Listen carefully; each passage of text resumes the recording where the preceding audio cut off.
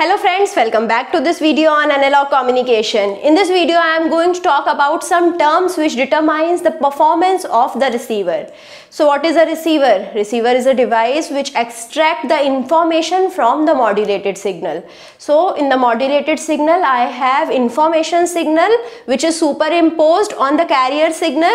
So it is fed to the receiver and at the output of the receiver I'll get the information signal. So what criteria determines that which receiver is best? We have a lot of receivers, we'll discuss about them but there is some criteria which determines the quality of the received signal. So which determines the receiver receiver's performance. So if I have a receiver which has good selectivity, good sensitivity and good fidelity, I'll call it a good receiver. So selectivity, sensitivity and fidelity these are the criteria which determines the performance of the receiver. So first I'll be talking about the selectivity. Selectivity as the name suggests it is the ability of the receiver to select the desired signal. So in the receiver we have an antenna which is connected to the receiver. So here we have different blocks of the receiver. So here at the input of the antenna we have different electromagnetic waves. So we have different input signals at the antenna. So now the antenna is converting the EM waves into the electrical signals. So it has to select one of the signals. So the ability of the antenna to select the desired signal.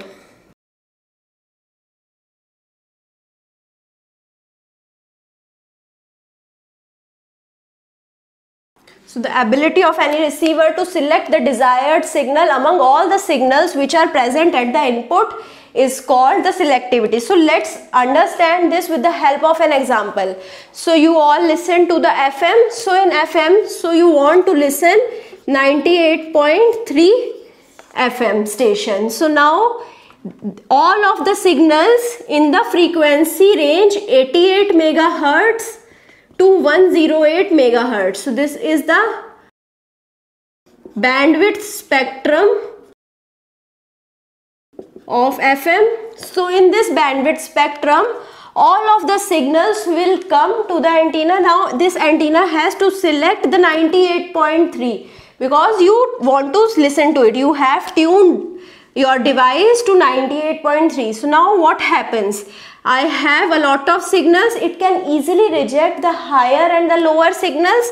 But when I talk about 98.0 and 98.6 so these signals are very close in the frequency domain. So extracting these signals Extracting the 98.3 among these signals is a difficult task. So now I have to select the 98.3 frequency spectrum among all of these frequencies. So now I can do this with the help of a tuned circuit. So what is a tuned circuit? I hope you have studied this in your lower classes as well. So here I have an inductor and a capacitor. So this is called my tuned circuit. So here the capacitor is variable which is variable in accordance to the desired frequency. So the critical frequency of the tuned circuit, I hope you remember it was equal to 1 upon 2 pi under root LC. So this is the critical frequency. If I draw the waveform indicating the impedance. So so let's suppose this is frequency and this denotes the impedance. So now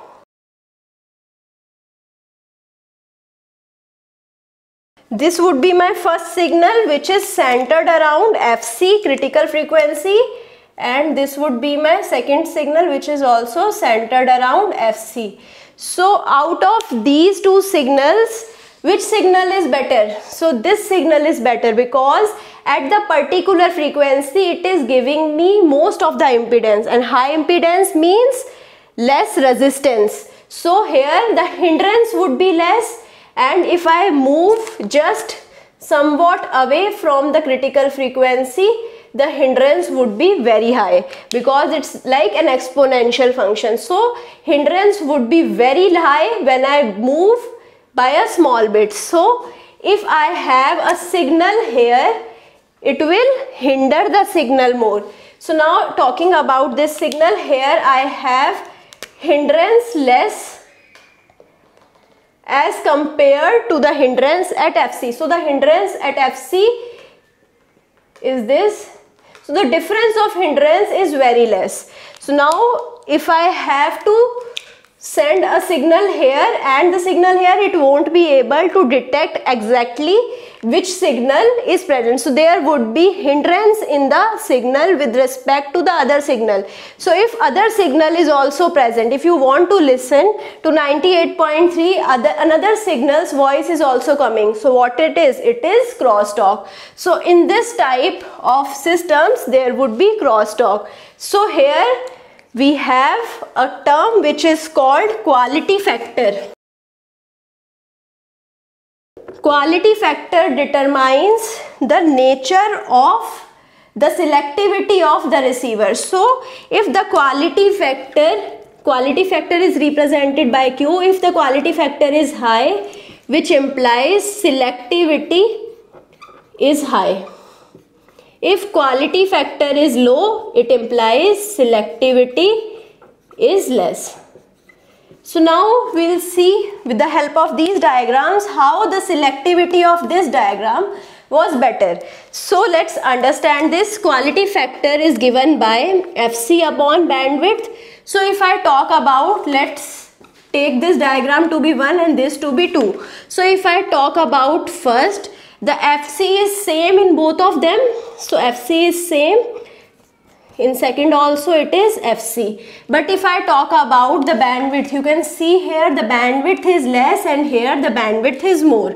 So here the bandwidth is less and here the bandwidth is more. So now FC divided by less bandwidth so I'll get high quality factor and here it is divided by high value.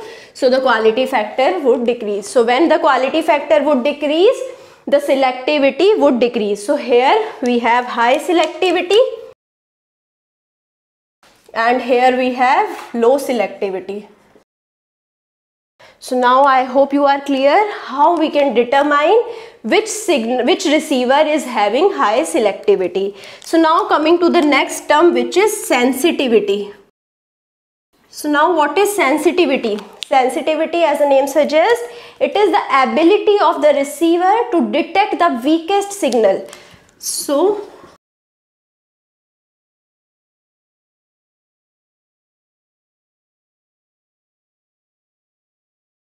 so if I talk about FM, FM has 100 kilometer range.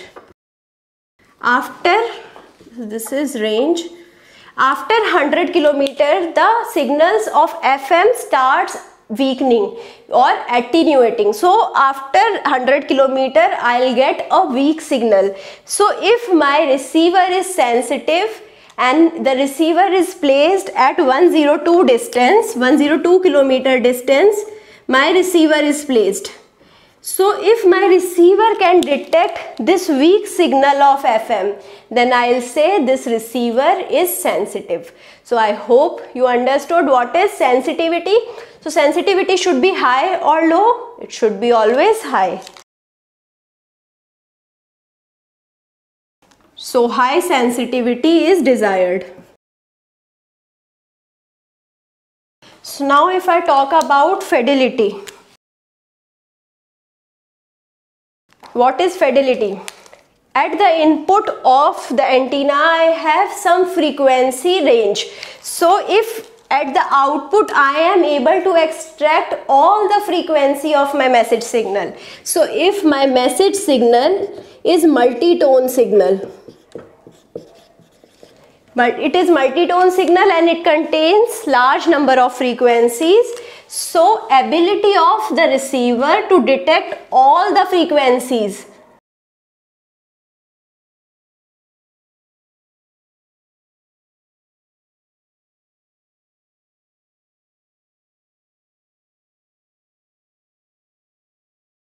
If my receiver is able to detect all the frequencies present in the multi-tone input signal. So if I have multi-tone input signal means in the input signal I have multiple frequencies. I send it to the receiver. In the receiver I can extract all the frequencies which were present in the input. So it is called high fidelity system. So what would be the fidelity which is required? It is high. So high fidelity is desired.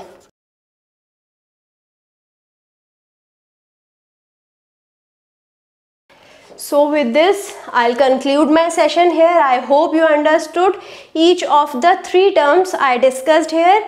If you still have any doubt, you can put the doubt in the comment and I'll try to resolve it as soon as possible. I hope you like this video. If you like it, share it with your friends, subscribe the channel and push the like button. Thank you.